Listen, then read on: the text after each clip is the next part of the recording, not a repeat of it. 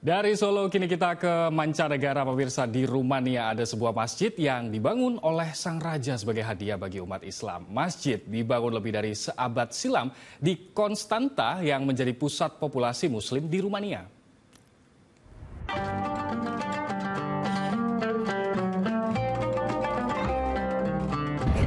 Assalamualaikum pemirsa. Kali ini saya tengah berada di depan Masjid King Karol yang merupakan masjid agung di kota Konstanta. Mari kita masuk untuk melihat kekayaan sejarah di balik dinding masjid ini.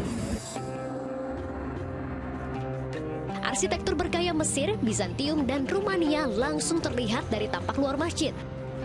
Masjid Konstanta atau Masjid King Carol I punya ciri khas kubah berdiameter 8 meter dengan bulan sabit berwarna biru di puncaknya. Saat melangkah masuk ke dalam, kita disambut Al-Quran berukuran besar dan pintu yang terbuat dari marmer hitam dengan ornamen perunggu. Siapa sangka ya, bangunan ini usianya udah lebih dari satu abad loh, karena dibangun pada tahun 1910 sampai 1913 oleh penguasa Rumania, Raja Karel I. Raja yang beragama Katolik membangun masjid dengan uang pribadinya sebagai hadiah bagi umat Islam di Konstanta pasca runtuhnya Kesultanan Ottoman Turki. Tujuannya agar umat Islam bisa menjalani hidup sesuai keyakinannya dengan aman. Kota Konstanta memang menjadi pusat penyebaran agama Islam saat dikuasai Kesultanan Ottoman.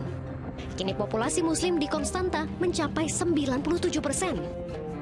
Tak hanya menjadi tempat ibadah, masjid ini juga memiliki arti penting sebagai cagar budaya, sehingga masyarakat Rumania dan juga turis dari mancanegara dapat merasakan jejak Islam di area Black Sea.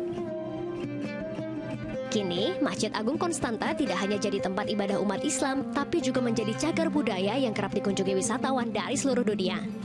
Baik pemirsa, itulah dia keindahan dan kekayaan Masjid King Karol yang menjadi simbol eksistensi muslim dan toleransi di Rumania. Citizen jurnalis Restino Pita Nur Hasanah melaporkan dari Konstanta, Rumania.